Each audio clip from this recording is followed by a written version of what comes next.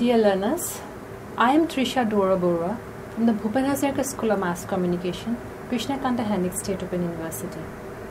And I would like to cordially welcome you all to another online video class on mass communication and journalism. In today's class, we are going to discuss about the relevance of traditional folk media.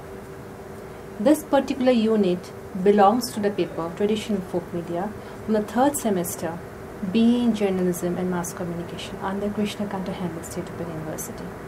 This is the seventh unit of this particular paper. In this unit, we are going to talk about and discuss about the traditional folk forms in rural India, its impact on rural development, and its different uses in different fields of life. So after going through this unit, you'll be actually able to appreciate the impact of traditional media on rural development and also list the various traditional folk forms in rural India as well as discuss the different uses of traditional media in different fields of life.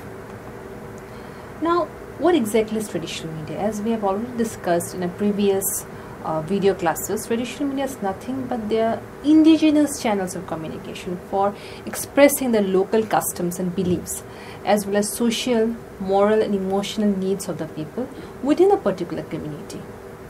And its nature is very lively and actually corresponds to the changing time pattern.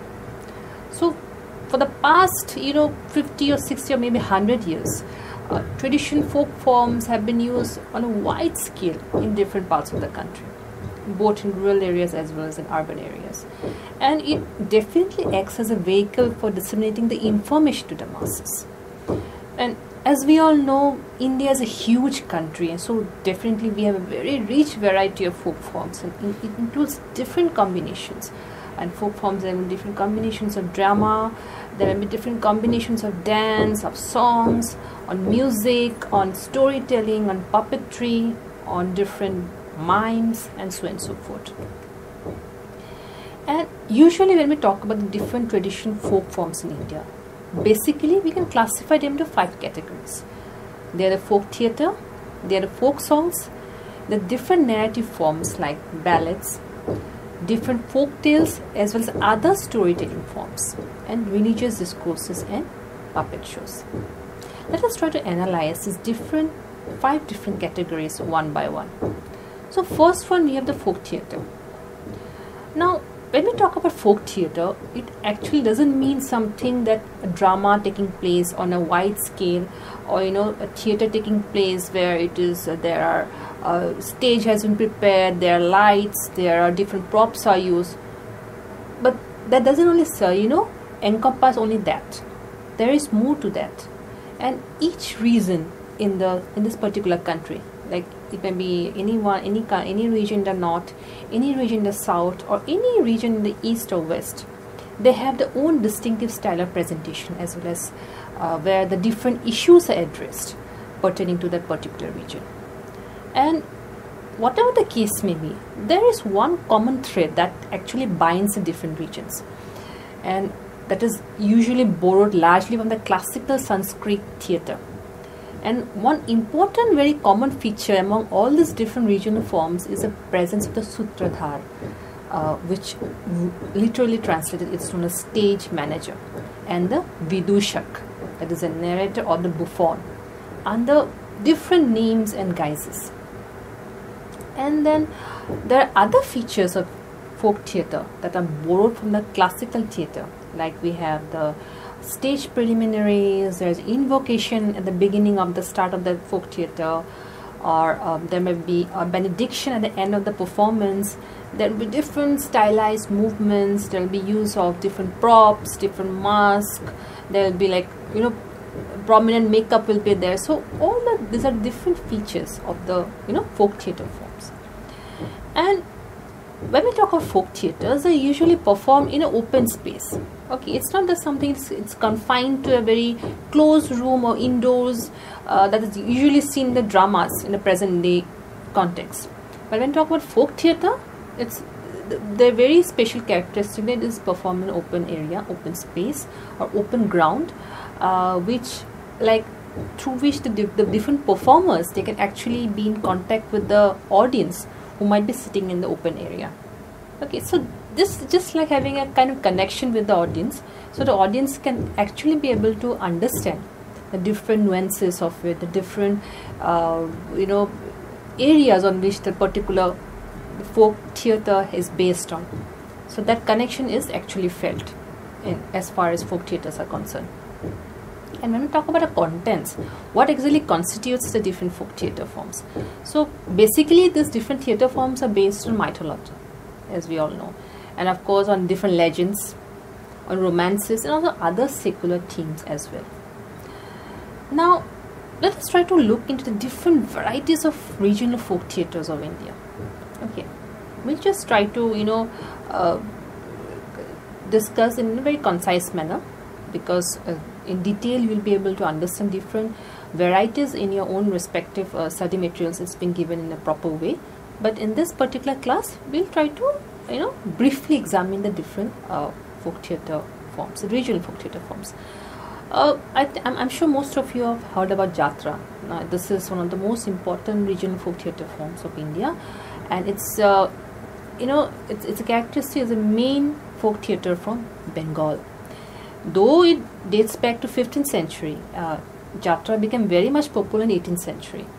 And uh, basically this particular folk theatre form is uh, it grew out of the bhakti movement and the initial themes were exclusively very religious in nature. And towards the 19th century it started containing the humors and socio political comments on contemporary themes. Uh, a jatra troupe basically consists of an adhikari okay adhikari uh, which is equivalent of the sanskrit sutradhar and juri juri basically it's a team of singers who are very much well versed in singing different classical songs which actually interpret as well as elaborate on the songs of the main character. So jatra is one of the most important variety of regional folk theatres of india. And it's it's a main face of the west bengal. Then we have Nautanki Nautanki uh, is usually associated with Uttar Pradesh and it is very much popular in the city of Kanpur, uh, Lucknow and Hathras. And not only UP, not only Uttar Pradesh, it is also performed in certain small villages, certain pockets of Punjab, Haryana as Rajasthan. And in Nautanki, the performance, when we talk about the performance, it actually begins with a traditional invocation, okay, which is followed by the Chaubolla. Chaubolla is it's a song that is performed by the Ranga, that is Sutradhar, after which this particular play is performed. Then coming to the eastern part of the country, we have the Bhauna, uh, which is a presentation of the Ankiya Nat of Assam. And Bhauna, it, it, gives a kind of you know cultural glimpse of Assam, as well as of Bengal, Odisha, Mathura, and Vrindavan. So the Sutradhar he he or she actually begins the story in Sanskrit language and then either in uh, Brajavali or an Assamese script he recites the different slokas he sings he dances and recites different prose. And uh, apart from the Sutradhar in a Bhauna troupe there are the the Bhauriya that is who are the, actually the actors who plays the role of different characters then the Gayan Gayan they are the usually the singers. And Bayan. Bayan are the musicians who plays, you know, the khol tal from the beginning to the end of the play. And uh, it was actually Bhauna was written by uh, Srimanta Shankardev, who is uh, one of the renowned Vaishnavite saints of this part of the country. Then we have Tamasha. Tamasha is another important, you know, regional form of you know folk theatre forms of the country and uh, tamasha is very much popular in maharashtra uh, usually uh, tamasha it consists of invocation there is a gaulang that is a song on the theme of lord krishna and the milkmaid then the lavanies uh, that usually consist of narrative poetical compositions okay and so on and so forth then we also have uh, that is known as Therukuthu. Therukuthu is a folk theatre form of Tamil Nadu, uh, which actually means street play. And uh, it's mostly performed during the, you know, Mariamman festival. That is a rain goddess festival, uh, which is celebrated in Tamil Nadu. and usually this particular festival is celebrated to achieve a very good harvest because it's usually believed that when there is very good rainfall that will actually lead to a very good harvest so it's usually performed at that point of time now let's come to folk songs so we have tried to understand what exactly is folk theater these different uh, you know region varieties of folk, most um, only the important regional you know varieties of folk theater forms. Now let's come to folk songs. Now just like folk theater india also has a very rich tradition of folk songs uh, which are very much diverse in nature because of, of the cultural as well as geographical you know diversity. And every region every state you know every nook and corner of the country they have their own distinctive particular style of folk songs. It's not that you know uh, Assam has folk songs and, and the, the Bihu folk song Assam is applicable to other states as well. No, different states they have different folk songs which one can actually identify you know with the different meanings, different contents of what the folk song is all about. And uh, Shyam Parmar, he is one of the very renowned, you know, uh, folk artist of uh, the country. Uh, a person who has actually uh, extensively done research in the area of, you know, folk media. He has categorized or he has classified the folk songs in three different types. First is the bhakti songs, from the term itself you can make out they are devotional songs, which has very strong links to the classical music and then of course we have the ceremonial songs uh, which are very much seasonal in nature and uh, it's all related to different rituals different walks different other love songs and so on and so forth. And finally we have the tribal songs. Okay now for example let me talk about tribal songs we have the the baul the ball of bengal the garba of gujarat then ghumar of rajasthan. We have bihu of assam. So these are some of the tribal songs. Then let us come to another important you know category of traditional folk forms that is the narrative forms. So from the term itself the narrative narrative talks about how you narrate a particular story how you try to narrate a particular song you know in the form of different verses in the form of different you know poems and so on and so forth. Mostly ballads. And uh, narrative forms they have been actually used to spread the message of patriotism something of you know uh, related to the country's nationality to unite the people something to bring about reforms in the country uh, both at the national level at the regional level as well as the local level. Something related to you know bringing about a societal development something related to some cultural as well as economic issues. So narrative forms basically and you know uh, brings under its umbrella these different aspects of life. Now, there are different narrative forms which are very popular in the country. Let us try to you know briefly examine a few important one of them. The first, of course, with the Burra Katha. Now, Burra Katha is actually performed in the mostly in the villages of Andhra Pradesh as well as Telangana by a three-member troupe. In a particular troupe, in a particular group, there are three people in there. And uh, this particular troupe consists of Kathakadu, that is the, the principal performer, who actually dances and recites the story. And the Rajkiya is there who actually acts as someone who knows the different ways of life and draws analogies between the story and the contemporary uh, socio-political problems. Okay. Then moving on we have another important narrative form that is a Daskathia now Daskathia is a very popular narrative form of Orissa and usually in this particular form in this particular troupe in this team there are only two people are there. One is a gayaka that is a singer and the other is the palya that is the accompanist. And the way the things are sung the, the way the things are narrated it's, it's a very different it has a very stylistic stylized way it is done. Like the theme is drawn from mythology from different folk tales and from other famous battles as well and it's not only there singing is performed. Of course there is very humorous kind of interludes in between. Uh, the skits are there then proverbs anecdotes. These are all you know part and parcel of the performance. And uh, there are also other narrative forms like we have the Alha Uttar Pradesh we have the Nagala, Punjab, then we have Vilupattu of Tamil Nadu, Povara, Maharashtra, you know, there are others and so forth.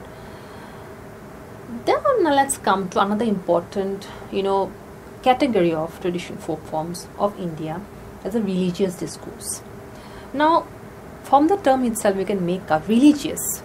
Okay, it's some kind of you know, uh, you try to uh, narrate some stories and songs where you know the content is drawn from the scriptures you know uh, uh, and uh, has which has some kind of deep meaning about the life or about the society as a whole.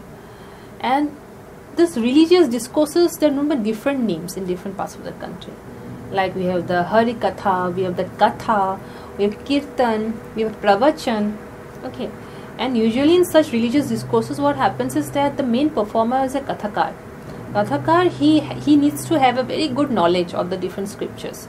And of course the kathakar needs to possess very good a very strong musical ability and he should also be a very good storyteller because you know if someone is you know just narrates some kind of story without giving any kind of you know uh, uh, meaning to it then obviously that won't make any sense.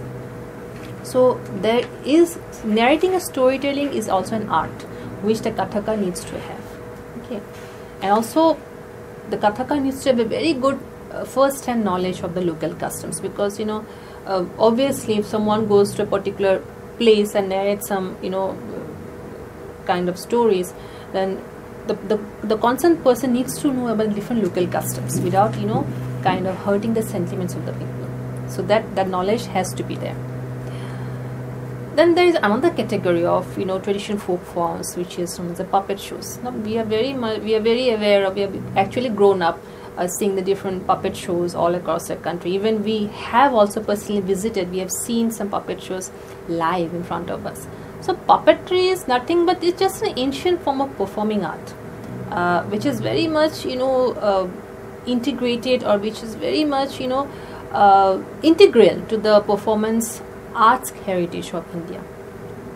And uh, you know, we have seen numerous references of puppet shows, of puppetry, uh, in most specifically in the two epics, that is the Ramayana and the Mahabharata. They have spoke volumes about the different uh, nuances of puppetry in the country.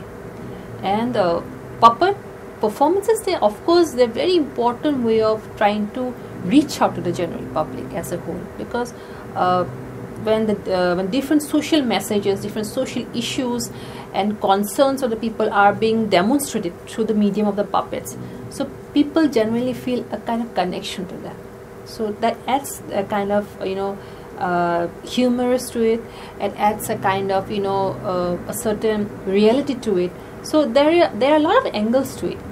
Okay.